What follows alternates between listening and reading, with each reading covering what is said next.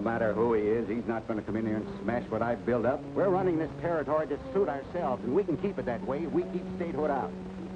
Vic, there must be some way to clear you of this ridiculous charge. Blackfoot might even track down the bandits and recover the money.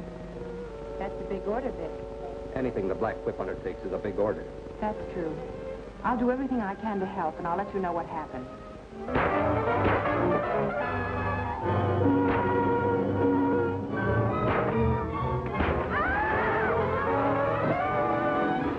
quit.